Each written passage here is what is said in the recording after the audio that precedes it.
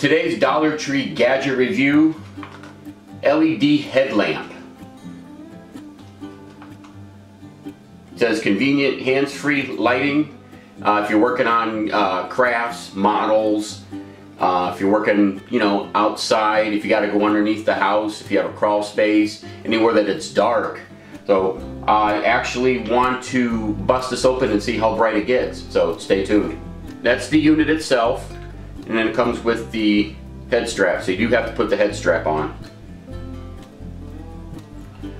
And here we go. Oh there you go. It has two modes. Has has the standard steady on and the blinking. And you can angle it. You need to light up. If you're working down you just flip Just flip the light over and it gives you down. So, there you go. I'm gonna turn the light out, see how dark it gets. Blinking. Steady on. That's not bad. That's pretty bright.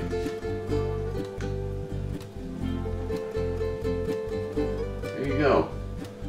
Perfect. Bike riding, you get up early in the morning and go go for a walk, nice run.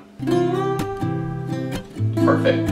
So, but stay tuned for other Dollar Tree gadget reviews. And until next time, leave a light on. No. Until next time, go Bills.